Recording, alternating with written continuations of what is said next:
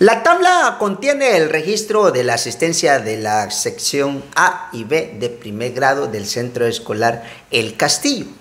Con la información realizan lo siguiente. Bueno, en el literal A completa la tabla, literal B calcula la media aritmética y literal C compara la asistencia media de las dos secciones y la pregunta que nos hacen es que es posible determinar en cuál de las dos hay mayor asistencia. ¿Qué te parece, mi asistente, si empezamos primero completando lo que es la tabla, según lo que nos dice aquí en el literal A?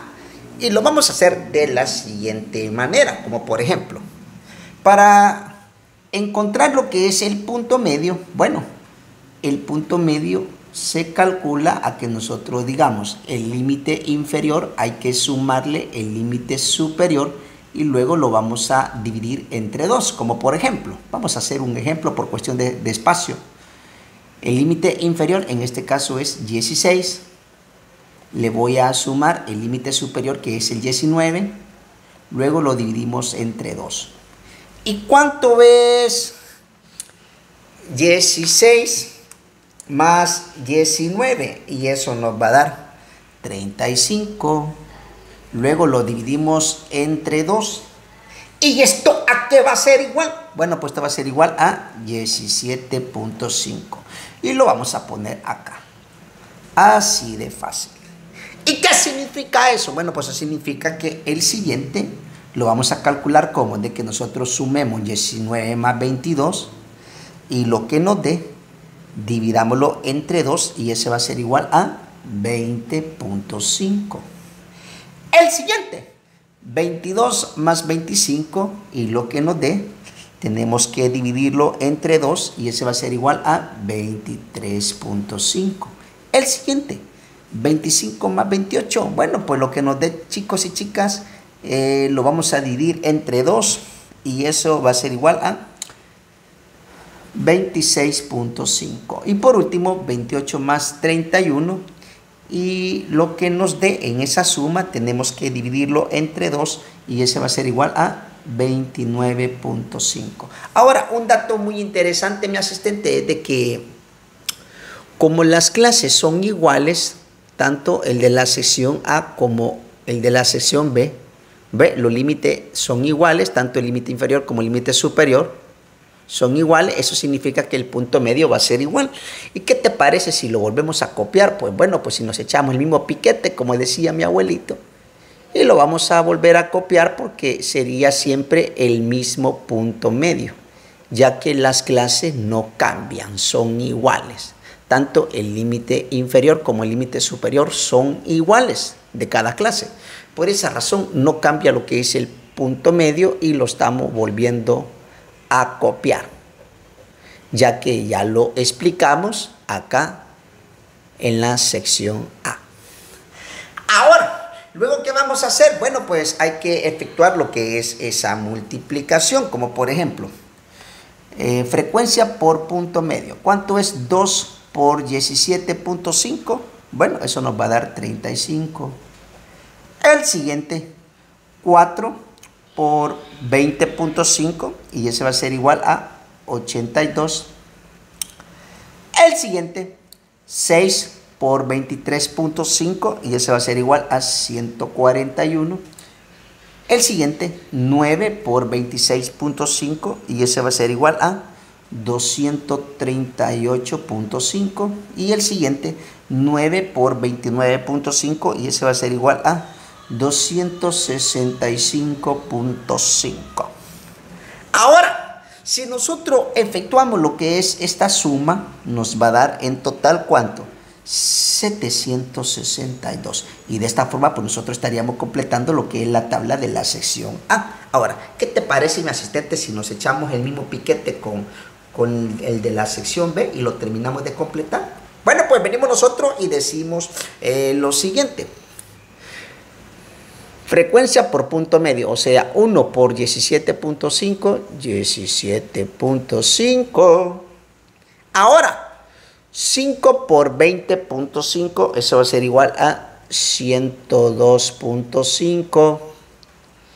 El siguiente, 7 por 23.5 y eso va a ser igual a 164.5. El siguiente, 8 por 26.5 y eso nos va a dar 212. Y el siguiente, 9 por 29.5 y eso nos va a dar 265.5. Ahora, si nosotros efectuamos esta suma, nos va a dar prácticamente 762. Y de esa forma, pues chicos y chicas, nosotros estaríamos completando lo que es la tabla. Ahora, en el literal B dice calcula la media aritmética.